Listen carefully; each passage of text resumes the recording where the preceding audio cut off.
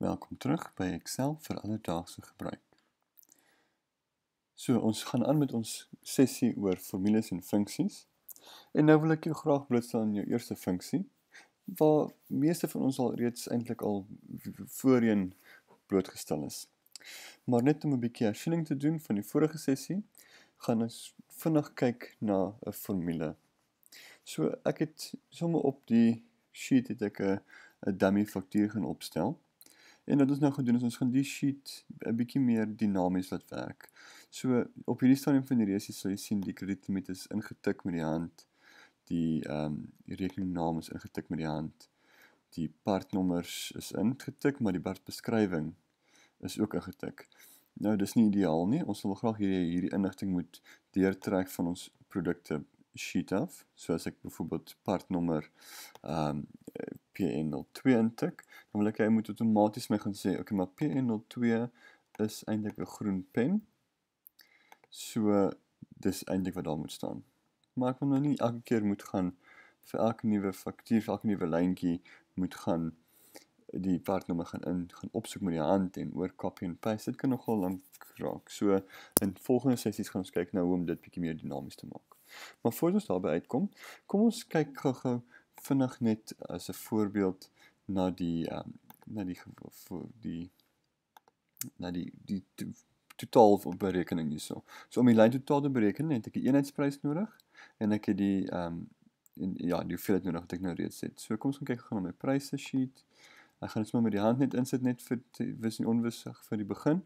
So ehm um, EB03 se prys, EB03 se prys is 430. Dis 'n bietjie duur kom ons sê 430 die blou pen se prys is 224 en 334 vir die enetjie so 224 daar 334 nou jy moet al reeds daai lyn totaal te kan bereken vir my so ek vra dat jy so die video net hier pause en gaan sit gou vir ons daai lyn totaal berekening in vir daai drie lyntjies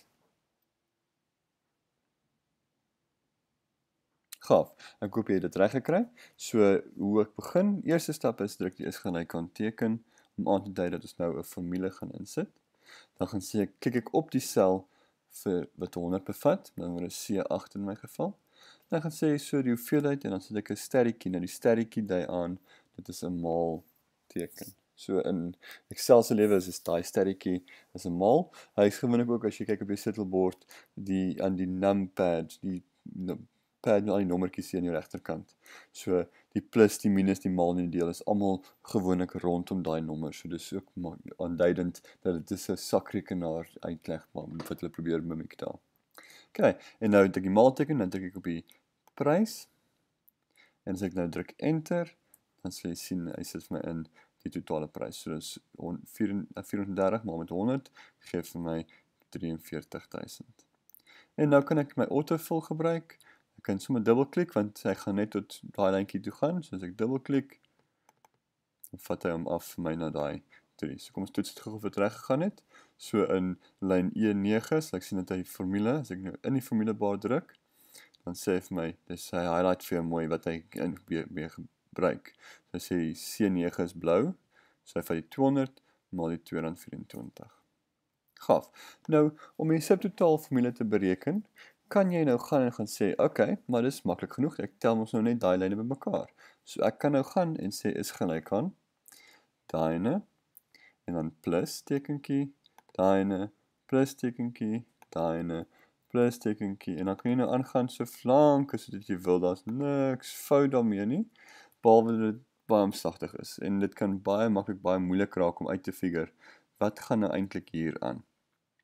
So wat ek sal gedoen het is ek sal dit sekere funksies gaan vooruit programmeer vir ons. En een van die funksies is om 'n reeks selle se waardes bymekaar te tel, basies om daai formule wat ek daar ingetik te verkort. Nou vir hierdie klein bietjie selletjies is kom mens seker nie die krag daarvoor sien nie, maar verbeel jou jy het 50 lyne gehad en jy moes nou 50 keer gaan is gelyk aan plus is gelyk aan plus. Dit sal nog wel 'n bietjie lank vat. So wat het hy gedoen het? So dat hy 'n funksie gebou met die naam sum so sum sê ek wil al die syfers binne in 'n reeks bymekaar tel. Nou as jy Excel die nuwe nuutste Excel het dan sal jy let dat hy sommer wat hulle noem 'n auto sum knoppie op jou home tab. So op my home tab in my editing groepie het ek 'n auto sum knoppie. So ek gaan staan waar ek die formule wil hê. Soos wat jy gewoonlik nou sê ek sou nou die is gelyk aan intik het. Ek gaan nie die is gelyk aan intik nie. Ek gaan staan dit op die sel en ek klik op die auto sum knoppie. So wat wil gebeur? Wat sal dan gebeur? Is hy gaan outomaties bepaal hy gaan probeer slim en kreatief wees en dit is gewoonlik baie akkuraat. Hy gaan kyk watter reeks sal jy bymekaar tel as jy nou op die sel is waar jy nou is. En logies sal hy probeer of jou linkerkant se reeks vat, maar tradisioneel die sel bo tot waar jy waar jy totaal optel. So in hierdie geval sê jy is baie akkuraat. Hy het nou gegaan van E8 tot E13. So al wat jy het te doen is net enter te druk. Ek hoef niks anders te doen nie en jy sal let dat daai totaal is presies dieselfde. Gaaf. So kom ons gaan ek gaan dit net uithaal. Dan gaan ek vir die ander metode wys om dit doen. So ons niks fout met daai metode nie en baie mense verkies dit, maar ek gaan vir jou gou net wys hoe om dit klein bietjie anders te doen. Die rede hoekom ek dit vir jou gaan wys, want as ons begin werk met ander funksies en formules, is dit opvaardig om te weet hoe om dit by hierdie skermpie uit te kom. So, dieselfde geld weer vir as ek nou met met hierdie metode die formule wil insit, die funksie wil insit. Ek moet gaan staan waar wil ek die antwoord sien. Dis altyd belangrik dat jy besef dit. Jy gaan staan op die sel waar jy die antwoord wil sien om die formule te begin. So, nou gaan ek na my formulas tab toe. So, op my ribbon gaan ek na my formulas tab toe. En nou het ek al my verskriklike baie funksies wat ek hierso het. So in hierdie formulas tab het hulle dit nou in verskillende kategorieë gedeel. Het jy recently used funksies, jou finansiële funksies, logies, teks, datum. Ons sal deur 'n hele paar van hierdie funksies werk in die volgende paar sessies, nie almal nie. Ehm um, dit ek dink dit is amper seker onmoontlik om al die funksies van Excel te ken en te gebruik, maar die mees gebruiktes gaan ons definitief deurwerk. Nou as jy sien daar is my AutoSum ook weer. So ek kan weer net op AutoSum druk en hy sal outomaties vir my daai selletjies bymekaar tel. Maar ek wil dit nou nie so doen. Ek wil nou gaan sê ek wil gaan soek vir die funksie. Ek is nie seker waar wat um, wat se kategorie aan behoort nie. So kom ons gaan sê op die insert function knoppie druk ek nou. Nou gee hy vir my 'n lys wat ek nou kan gaan soek. So hier is sien hierbo in die search for a function skryf jy sê wat is dit min of meer as jy wil doen? So ek kan sê ek weet ek wil um add cells. So ek nou sê go. Dan gaan dit my sê, okay, hy dink een van hierdie funksies gaan doen wat jy wil hê hy moet doen. So as ons lees sum if en ons lees wat sê wat wat beteken dit? Adds the cells specified by a given condition or criteria. So ons wil eintlik geen kriteria byvoeg nie, so dit gaan nie hy wees nie. Kom ons gaan na die tweede selletjie toe. So daar sal jy sien is my sum funksie presies wat ons nou gehad het toe ons die auto sum gebruik het en hy sê net ek wil adds all the numbers in a range of cells. Nou dit is presies wat ek wil hê. So ek klik op hom en ek klik op OK. En nou gaan jy sien weer eens is Excel baie slim en hy gaan tel outomaties op dat Hy vermoed ek wil sel die reeks E8 tot E13 gaan optel en dit is korrek in hierdie geval. Maar kom ons sê dit was nie korrek nie. Kom ons sê ek wil die die hoeveelheid optel. So dan gaan ek nou daai number daar uithaal.